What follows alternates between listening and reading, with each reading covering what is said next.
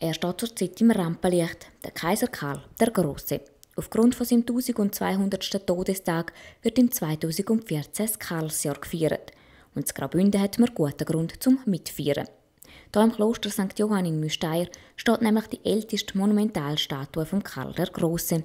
Sie gehört sogar zum UNESCO-Weltkulturerbe. Aber so bekannt die Statue auch ist, so umstritten ist ihren Ursprung. Und das soll sich jetzt ändern. Ein gemeinsames Forschungsprojekt von Uni Bern und dem Archäologischen Dienst Graubünden untersucht die Entstehung und Datierung dieser einzigartigen Statue.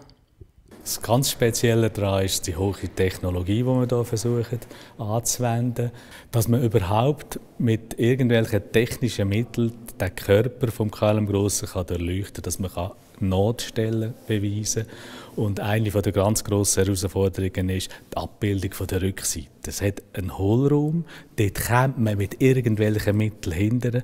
Und wir sehen schon von weitem mit äh, iPhones hinten runterföteln, sehen wir, dass eine ganz interessante Abbildung äh, hinten auf dem Rücken hat, von einer früheren Aufstellung, aber wir kommen nicht richtig dazu. Wenn man sie könnte vom Sockel nehmen könnte, dann könnte man ein CT machen und all die Fragen relativ einfach lösen. Aber das ist so kostbar, die Figur, dass man sie eigentlich nur berührungsfrei untersuchen darf. Und darum ist es eben eine relativ grosse Schwierigkeit und Herausforderung.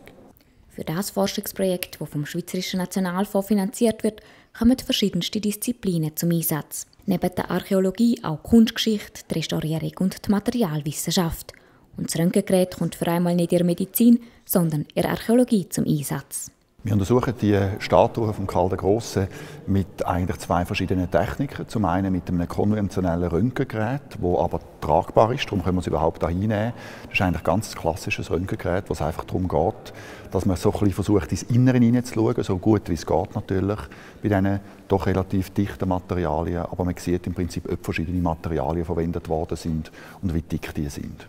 Wir haben noch ein zweites Gerät da, das auch transportabel ist, das wir auch von unserem Institut haben. Das ist ein sogenannter 3D-Oberflächenscanner.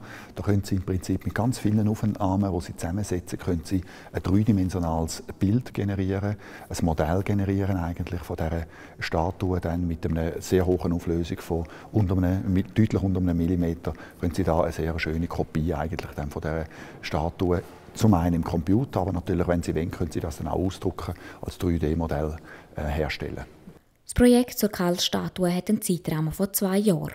Die Forscher hoffen, um mit diesen technischen Methoden die Unklarheiten zur Karlskulptur klären und bis im 2015 Ergebnis vorlegen.